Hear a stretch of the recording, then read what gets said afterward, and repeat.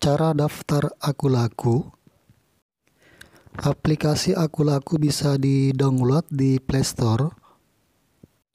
Cara daftar Akulaku agar disetujui atau di ACC dan mendapatkan limit yang besar. Jadi setelah berhasil daftar akan mendapatkan limit peleter dan limit pinjaman tunai di aplikasi Akulaku. Pendaftaran Akulaku menggunakan nomor HP nantinya dipakai untuk login. Jadi limit Akulaku bukan pinjaman apabila nantinya berhasil daftar. Nanti setelah dipakai baru ada tagihan. Jadi limit yang didapatkan akan berbeda-beda setiap akun.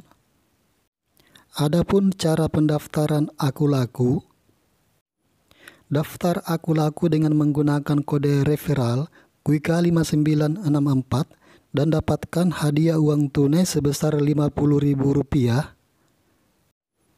Setelah pendaftaran berhasil dan mendapatkan limit, maka akan mendapatkan uang tunai sebesar Rp10.000 dan setelah menyelesaikan pesanan pertama, akan lagi mendapatkan uang tunai sebesar Rp40.000. Kemudian daftar akulaku dengan menggunakan kode referral itu lebih gampang disetujui atau di ACC kemudian mendapatkan limit yang besar. Pada pendaftaran Akulaku masukkan nomor HP yang aktif, kemudian pilih daftar. Nantinya nomor HP dipakai untuk login. Kemudian selanjutnya masukkan kode OTP. Masukkan kata sandi gabungan angka dan huruf, huruf pertama huruf besar.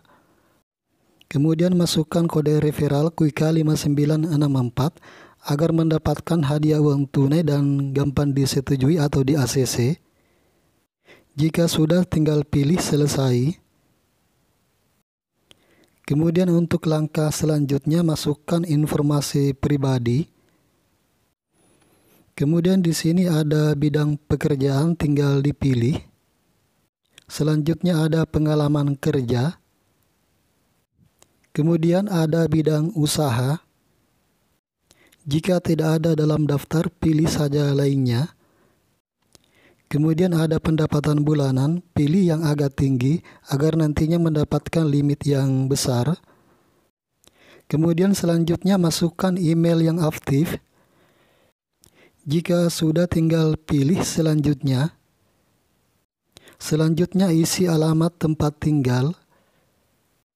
Jadi yang paling penting di sini isi alamat tempat tinggal sesuai KTP agar nantinya gampang di ACC atau disetujui. Selanjutnya masukkan kontak darurat beserta nomor HP-nya. Bisa teman, bisa saudara, bisa orang tua. Untuk kontak darurat ada dua. Selanjutnya upload foto KTP untuk foto KTP pastikan di tempat yang terang. Foto di tempat yang terang. Ikuti petunjuk aplikasi. Jika buram atau blur bisa diulang.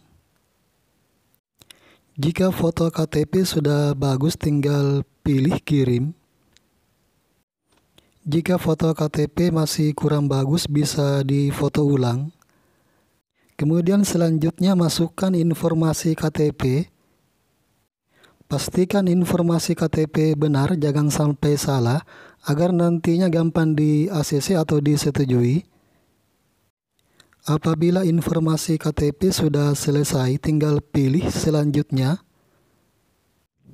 Kemudian untuk langkah berikutnya, foto selfie atau scan wajah. Jadi untuk langkah terakhir scan wajah, ikuti petunjuk aplikasi. Scan wajah di tempat yang terang. Selanjutnya masukkan PIN pembayaran. Jika sudah pendaftaran selesai tinggal ditunggu sekitar 30 menit. Apabila pendaftaran berhasil maka akan mendapatkan limit Akulaku. Limit di aplikasi Akulaku. Sekian untuk video ini, jangan lupa like dan subscribe. Terima kasih.